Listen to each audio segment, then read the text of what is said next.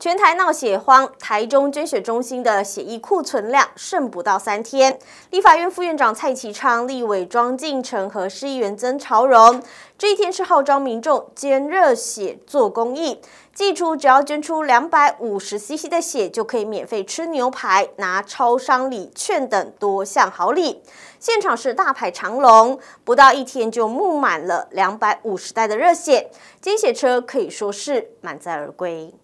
大热天，民众大排长龙等着捐血，全台闹血荒。有明代为号召民众捐血做公益，宣布只要捐血两百五十 CC 就能兑换餐券、拿超商礼券等多项好康。上午十点就发完两百张号码牌，还有民众排不到。好，我们办这个活动啊，非常的紧凑啊，只有几天的时间了哈啊，我们公告啊，还有我们的乡亲真的非常的热情。我们今天预计九点开始捐血。啊，六点就已经有很多乡亲来排队了，啊，到七点哦，已经排了四五十位，啊，所以看到我们民众的热情啊，我们真的非常的感动。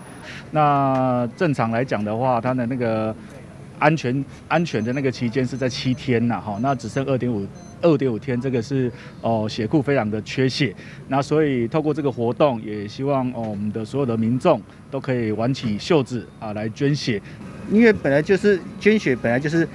对身体也好啊，那对别人也好啊。要多吃一点。对啊，要做公益嘛。然后你看现在疫情的关系，那么又比较少人在捐。对啊，刚好有机会就快点过来捐。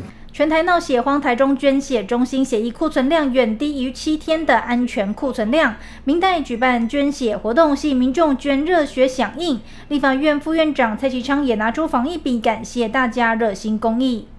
我想这些都是一些诱因呐。但是我还是要强调，啊，没有这些纪念品，没有这些这些企业赞助的这些赠品，我想，诶，国人同胞也不会因为这个纪念品呐，哈，大家都应该都是因为爱，都是因为看到呃这个血库没有血，所以大家才踊跃捐呐。那这只是一点小小的诱因，感谢哦，企业界来感谢今天捐血的朋友。现场盛况不到一天就募满两百五十袋热血，捐血车可说是满载而归。捐血中心也呼吁民众发挥爱心，帮助医院需要输血的病患。记者张伟林台中采访报道。